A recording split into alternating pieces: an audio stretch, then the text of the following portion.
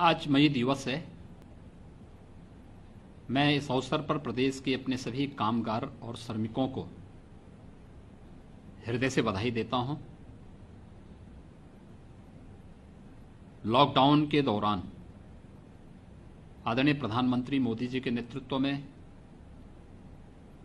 पूरे देश के अंदर प्रधानमंत्री गरीब कल्याण पैकेज के माध्यम से 80 करोड़ नागरिकों को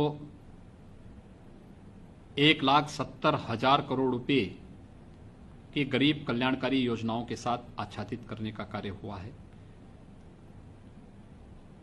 इसमें कामगार है, श्रमिक है, किसान है, युवा है, उद्योग में काम करने वाला जो हमारा श्रमिक है, ये सभी लोग इस योजना से आच्छादित हुए हैं।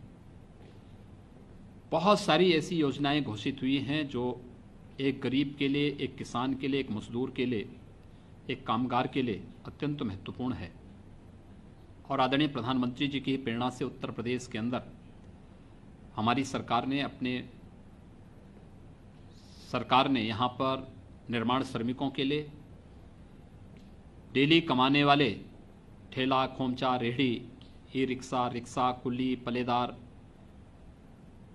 ग्रामीण और शहरी क्षेत्र में विश्वकर्मा श्रम सम्मान से आच्छादित होने वाले उन 16 कैटेगरी के कामगारों के लिए धोबी है, मोची है, नाई है, सुनार है, कुम्हार है, राजमिस्त्री है, इन सभी प्रकार की जो कैटेगरी है, इन सबको हमने भरण पोषण, भत्ता देने की व्यवस्था की और सफलतापूर्वक अब तक 30 लाख ऐसे सभी निर्माण श्रमिकों के साथ साथ अन्य सभी श्रमिकों को ये सुविधाएँ उपलब्ध कराई हैं।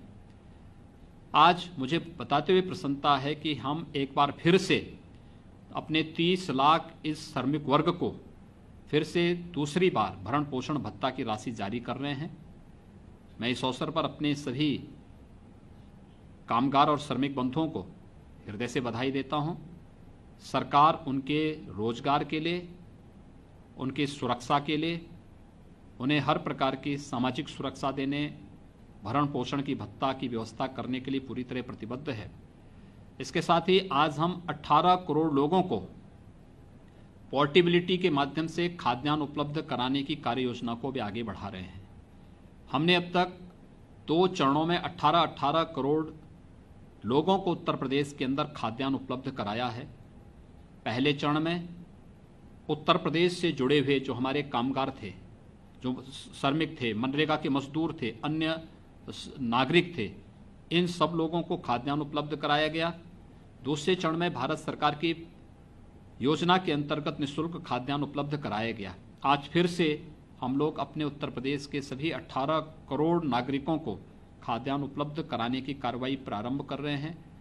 उत्तर प्रदेश का कोई श्रमिक और कोई कामगार अगर देश के अंदर किसी भी कोने में रहता है और उसके पास उसका राशन कार्ड नंबर है तो उसके माध्यम से वहाँ पर भी ई पॉस मशीन के माध्यम से अपना खाद्यान्न वहाँ के कोटे की दुकान से भी ले सकता है।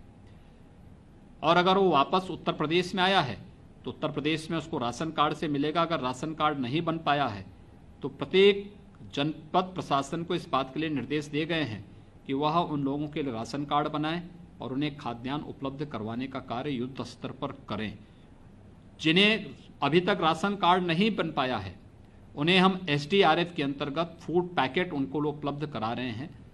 हर एक व्यक्ति को उत्तर प्रदेश के अंदर कोई भूखों नहीं सोने पाएगा। चाहे वह होम क्वारंटाइन में हो, अपने घर में हो या इंस्टीट्यूशनल क्वारंटाइन में हो, इन सभी के लिए हर प्रकार की व्यवस्था प्रदेश सरकार ने की है। हर एक नागरिक की सुरक्षा, हर एक कामगार और श्रमिक की पूरी सुरक्षा, सामाजिक सुरक्षा, आर्थिक सुरक्षा, रोज़गार की सुरक्षा के लिए सरकार पूरी प्रतिबद्धता के साथ कार्य कर रही है। मुझे विश्वास है, मई दिवस, श्रम में व जयते के संकल्प के साथ हम सबको एक नई प्रेरणा के साथ, एक नए उत्तर प्रदेश के निर्माण में आप सबके श्रम और आप सबके परिश्रम से आगे बढ़ने के लिए हमको एक ताकत देगा। मैं आप सबका अभिनंदन करता हूँ, आप सबको मई दिवस की बधाई देता हूँ। धन्यवाद।